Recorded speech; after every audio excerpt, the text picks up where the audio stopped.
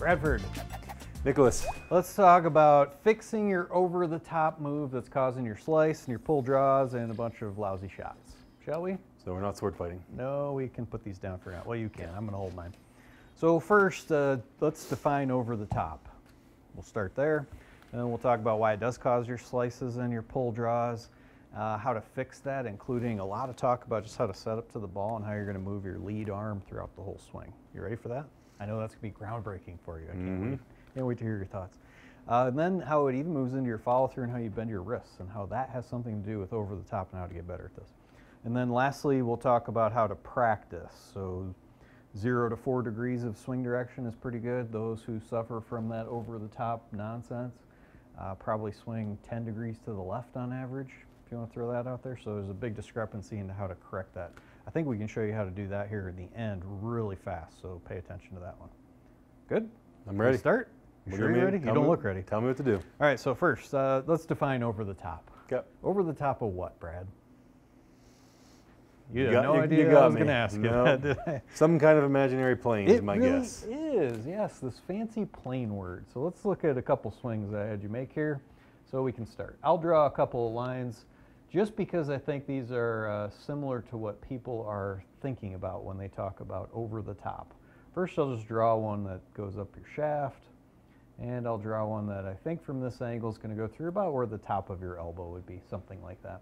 When most people think of over the top, my perception is that they feel on the way down, like here where your lead arm's parallel to the ground, that the shaft of the club at this point in time is going to be tracing this red arrow, which is well above both of those lines, in particular that one I drew over your, your elbow or your turned shoulder at this point in time.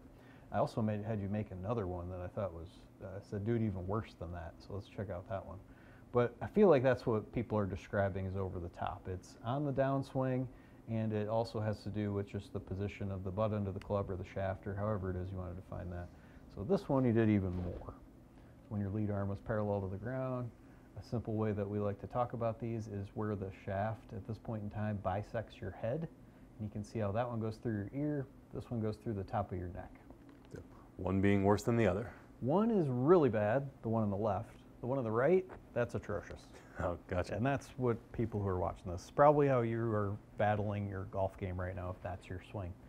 Now, I think where people describe over the top poorly is that uh, they don't really have a definition of what is over the top and where is it, like that outlined, but then also where do you want this thing? Mm-hmm. And then how do I know how bad my problem is? A little bit of that can be done with that measuring I just talked about. So when your lead arm's parallel to the ground on the way down, however far away that is from you, will help you choose that bisection point, whether it's your neck or your ear. Both of those are terrible. You've got to, if you want to hit this ball straight, at least get the shaft of the club closer to, I'll draw just a green line in here. This is your line of demarcation, I suppose, on okay. It's got to be below that green line, which is below your shoulder, your trail shoulder. And ideally, if you're going to hit nothing but just little draws, it would go through the middle of your arm. You want to see someone who does that? Should we do that? You pulling that picture of me up? Nope, Nope. definitely not going to pull up a picture of you. Let's pull up a picture of Collin Morikawa, though. And we'll start right at the top of his swing, and we'll get down to where his lead arm's parallel to the ground. And out of the arrows that you've got drawn on you, let's compare those to where Collin is. And here you can already see the butt of the club is under his shoulder. And when his arm is pretty close to parallel to the ground here, he has the shaft passing through the middle-ish, top-ish of his bicep. So I'm talking about that as right here on Brad's arm. If he went lower, he'd be getting closer to the middle of his bicep. The shoulder's too high, but that maybe will work. And if you're really over the top, that's a good place to start. Never want the shaft going through your neck, wham, or your ear, wham, or the top of your head. We see all of those things in here. This is really the biggest problem I see uh, amateur golfers have on the downswing. Yeah, and I would something say this is fair. This is probably being fixed in 9 out of 10 slicing lessons. You got it. So we can go through our whole tour player database of uh, PGA Tour players that have the shaft always below their shoulder. What this is really a problem is that uh, the rest of your swing is set up to hit across the ball. So at this point in time, uh, we you can speak very specifically towards your swing path. We're going to talk about that here using our quad. How when you hit across the ball, those were 10 degrees out to in. Um, you can measure that right at impact, but you can also go backward. That's why this picture is so good. It's projecting um, and trying to anticipate what's going to happen from here is what I'm doing in these images. Yeah, so you're saying then from the image of me in the left, I'm gonna have a really hard time moving that swing direction in to out from where I am on that one, especially on the second one as well. So, so Collin, at this point in time, has his swing direction, because I know this from his shots, his swing direction is almost zero. He doesn't Mm. really swing it out or out in too much on most of his shots. Meanwhile, with you having the shaft higher than that, your swing direction at this point in time is programmed 10 degrees to the left. Doesn't mean that's how you're going to hit it, but that's the problem. You have a serious issue right there. So there are ways to overcome that, but they're just not good ones. They're not PGA Tour-like moves that you make from this point in time. So this is the start of slicing, hitting across the ball, but you can also, if you have the club face closed enough, maybe you can demonstrate that one. So if you go over the top on the way down, since we're picking over the top is just a terrible phrase, like, uh, what else comes to mind for over the top that you hear a lot? It's like Um, casting maybe is maybe casting. word, but uh, yeah, over the top's is the most popular one. it that really is. Whether people, like I said, know what it means or not, but it's one that definitely gets thrown out there. and I think people are just saying it's over the top of that top yellow line. Yeah, it's kind of that imaginary shaft plane, probably. You got it. So now on the way down, as Brad gets closer to the ball, you've got two choices here. You can still have the shaft too far out, and your over the top is just continuing to be a problem. Your 10 degree leftward swing direction is still in play right here. And golfers either, either have the face open enough where the ball can start on just a, uh, pretty much at your target and curve to the right. You can have it a little bit more closed, and you've got a chance of maybe pulling before it cuts. Or there are a lot of people who get the club face, not necessarily here, but when they hit the ball, they don't have the shaft forward enough and the face angle's too closed, and then that can be the pull draw shot that you hit. So all of those lead from having your swing direction on the way down when your lead arm's parallel to the ground, it's too far out away from you. Sound about right? Yep. How, what percentage of the slicers you come in, or that you see, uh, that come in to help, or for help with you, have this problem? I mean, I said 9 out of 10. It's probably 10 out of 10, though. It's 11 out of 10, Brad. Okay. There's the answer. So let's talk about ways you can stop doing this. I think we uh, talked about that enough about how it works. So a couple things you can do are just at address, and Brad I think is going to cover these pretty well. But if you suffer from slicing over the top pull draws, a whole host of uh, inconsistent contact or sorry shot pattern that really starts with curving the ball to the right for you. The first thing I'd always recommend someone do is put something by the golf ball. Uh, and then can you demonstrate five and six again of the uh, swing direction just being too far to the left? So if the butt end of the club's too far out, the shaft's going through his, his neck. Now the shaft is too far out away from him at this point. At this point, you'd want to have this for a straight swing direction like Collin did. Let me go ahead and show you that. And then you're going to copy this exact same thing, Brad. When the shaft's parallel to the ground, you notice that image up there and how the sweet spot of the club is ever so slightly to the left or inwards of his hands, even a little more in line than that. That's where Collin's at to have a straight swing direction when the shaft's parallel to the ground. Uh, if you're going to have that swing direction problem on the way down like uh, Brad does on that left picture, you'll have the sweet spot further out. You're ready to slice across this ball. One good way to know it is that you've got an obstacle right here and you can recognize Brad making a bunch of noise, slamming into it, and there are a few little jabs in this already from people smashing into it. So I've got this angle. So, no, you're not alone. That's true. So I've got this one angled where the, the foresight launch monitor can still see the ball. So the foam noodle is almost up to the end and it's slightly angled inward, maybe like five or six degrees. So if Brad's swing direction is straight, he'll never hit that. So once you've got the, the uh, pool noodle on the ground, let's talk about address. Yep. And then we're going to get to why I've got this big, wide diameter noodle here and how I'm going to hit you in the face with it.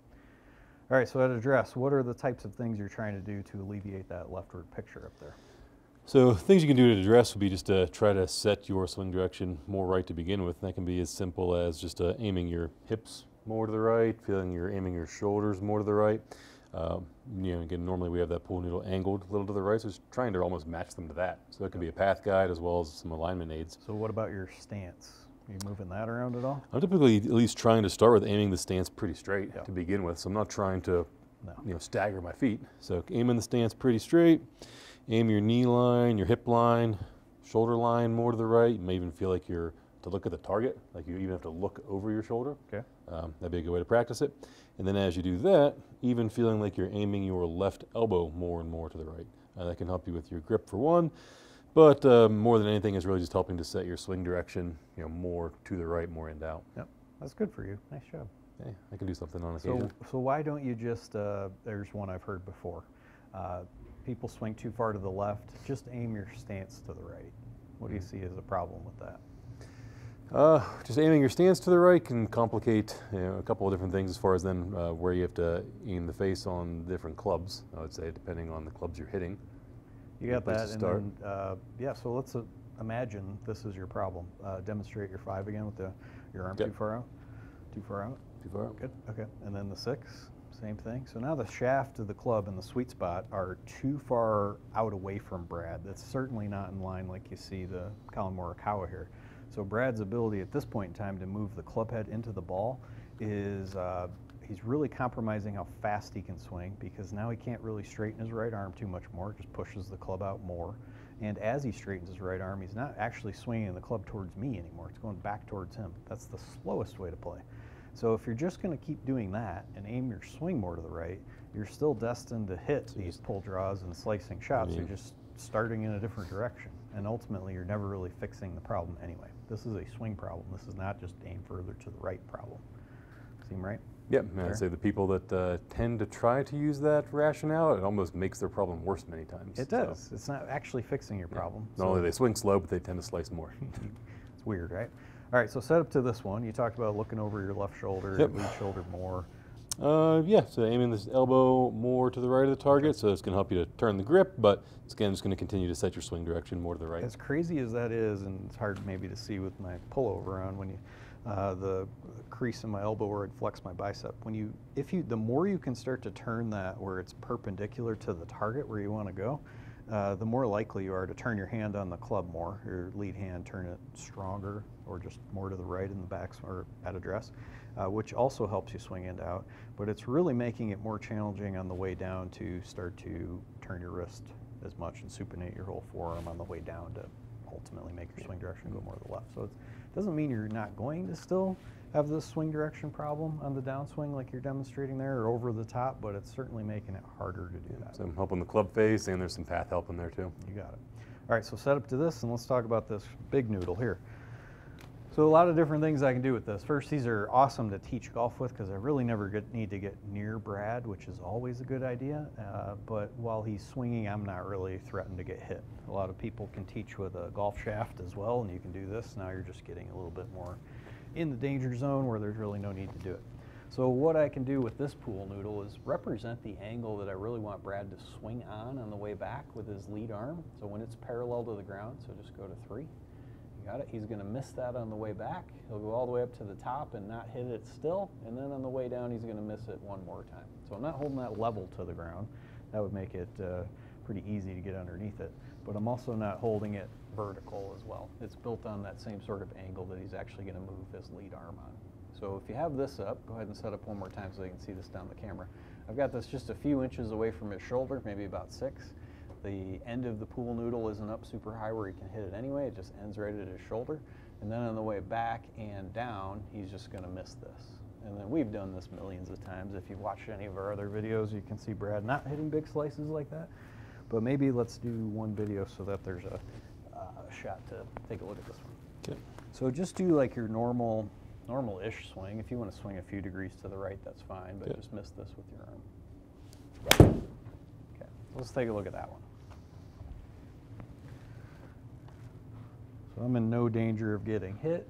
We'll load up Brad's initial swing, and we'll do the same thing here. And we're probably just going to need to start with no lines, and let's just go to where his lead arm's parallel to the ground. Here's where the butt end of the club and his shaft come together to pass right through his neck, and you know that that's a big no-no. Here's the one we just did.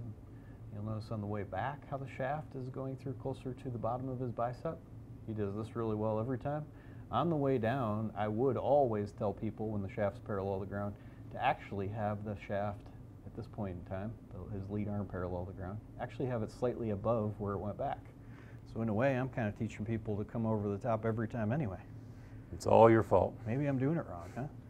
No, that's uh, the point. Isn't necessarily where you went back and where you came down. It's where you come down, and you can see the difference in the angle of the shaft there. So now, when the shaft's parallel, like we talked about with Collin, you'll see where the club head is. And even though this is really blurry, mainly because of all the studio lights, Sweet spot of the club is somewhere in here. And let's do the same thing in your problem shot, and you can see how much Yeah, further out, way out there. that really is away from you. That's over the top. That's how to stop doing it. Now, another one that, uh, that helps and get this noodle out of the way is to talk a little bit about the follow through and even maybe the downswing and how you want to move yourself around. So, backswing and downswing, miss the noodle. On the way through, though, Brad, let's do like a, a demo here, just how you'd get to where the shaft's parallel to the ground on this side. Now, you notice from that view how Brad's shoulders are tilted to the right. His left one is lower than his right. When you tend to have that over the top problem that I've just found out, I'm teaching everyone anyway, you see a lot more of the right shoulder much higher uh, than where Brad just demonstrated, and they're pretty level. It'd be rare to see someone who's got their right shoulder higher than their left. That would make it almost impossible to actually hit little draws, but that's a tougher one to see. And then do that same demo, but hit like towards me, so the, uh, the wrist bends are, are more, more easily seen. He also his right wrist is really very straight relative to the shaft. That's uh, when he starts to bend his wrist down, that's ulnar deviation. So what he's trying to do is almost like max that out coming through the ball, keeping his shoulders tilted to the right. If he has his uh, lead arm in on the downswing like he did on that one, we kind of have the recipe to how to do it. So let's hit one. Um, and to start with, I'll angle this pool noodle a touch more. And the idea here is now, how do you, how do you actually do this? How do you put this into practice? So let's throw up the driving range here one more Okay. time.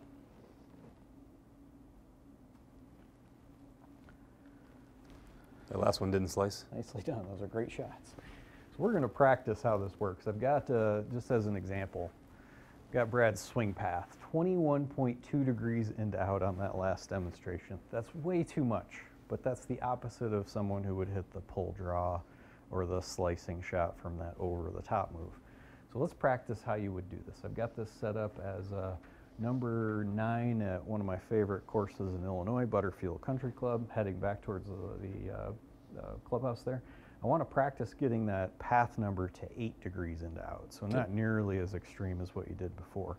So let's hit one of these, e- eight degrees into out, that long punch shot follow through, so it doesn't even have to be a full hit. Ready when you are. You done? Yeah, I think so. Are you done? You need a lot of instruction. I know. That club face was very closed, Brad, but Hey, let's see what, slicing is not my problem. let's see how that one works. So the point of this hitting is not actually to hit a good shot. It's to train your ability with the launch monitor to swing eight degrees into out. Then we'll get down to what you actually want, which is probably closer in that two to four range. I like anything between zero and four degrees into out. So into out is what I'm describing as this way, to uh, out away from Brad to the right of where he's actually aiming it. Uh, let's see, you got a three degree pull and 16 degrees into out on that one. So at this point in time, I wouldn't have to worry about Brad, and you wouldn't worry about this either. If you swung 16 degrees into out, you don't have this uh, over the top problem. So let's take away some of the training wheels. Now, let's dial this one in. So uh, instead of 16 degrees into out, to get it back to 8, you would do less of the hips closed, less of your elbow facing over here into the screen. And on the backswing and downswing, you don't have to feel like it's moving as far in. You teach me how to do the club face. but Let's see path is. Still a big one. I bet that's still over 10. Yeah, it's only five. Five and a half? All Yep. right. You're Doing the path great. That face. I need to take care of this really close to the target. Okay. Uh, so there's a five. Now let's straighten this one out even a touch more. I know you're good at this path control. I can tell that. So if you could practice and you kept hitting eight, I'd say if you, you go from the over the top problem to always swinging eight degrees into out, and you can do that, say seven, eight, nine, ten times in a row, you have got your problem licked. At that point in time, now it's just uh, moving your swing direction back to that tighter window of two to four degrees into out, and you're there. You're, you're playing golf. The worst way to actually try to improve your your slicing or over the top problem would be to swing 10 degrees out to in, make the next swing 9 degrees out to in, the next one 8, the next one 10, and just sort of go slow on that. I'm a bigger fan of move 10 degrees out to in, and then the next swing I'll make you swing 10 degrees into out, and then we'll nudge it back the other way. So those extremes are important. This one you're going to get pretty close to zero? hmm Zero on the path. Sure. Okay. Can't promise you much on Zero, the face. Let's see what we can do. Zero, one into out. That was really closed. All right. They always are. And we got a three. Down to three. There's where you just want to kind of live all the time. Really nice demo of how to just change your shoulders and address. And a little bit of the feel of your lead arm on how you can change that swing direction. So let's do one more of those 20 into, into out. I'm actually just thinking 8 to 10 is enough. So what you do at address to make that work. So try to do it the most. Uh, not even the most, So a little say eight less than eight the to 10? most. Yeah, Alright. 8 to 10. And then I'll keep this up just so that you've got a, an obstacle as a way to view, visualize that one and do your thing. 8 to 10 to the right. That one's a lot. They're all be closer drawn. to that 16. So at this point in 9.7. 9.7. That's pretty good. That'd be really Why good. does it say 19? That'd be really good on the prices right. I'm kidding. Yeah, not bad. All right, good point. That's a pretty good demo about how not to come over the top. It's a horrible demo about how to hook too much, but for another day. Hey, That's all you got, huh? no. Hey, I, I have no I have no defense on that one. that's all right. The good So- news is I know where the ball's going to go. It's Mm, not right. That's true. That's such a valuable piece of information. People who are over the top rarely hit more than one shot out of 10 that pull draw like that. They're usually all slices. So hope you enjoyed this video about stopping your over the top swing. And honestly, if I was going to give you some more advice, stop saying over the top. It's just a silly dogmatic phrase that has very little meaning without some context. Talk about where your lead arm is and where that shaft bisects you as a person. That's your, your ticket to playing better. So if you did enjoy this video, click the thumbs up and don't forget to join the GOLFTEC community for some exclusive content, some offers, and to book a lesson or a club fitting. Check out the link below to create a free GOLFTEC account. Brad, thanks as always for being such an amazing pull drawer. Until next time, maybe I'll push one. Maybe. Thanks.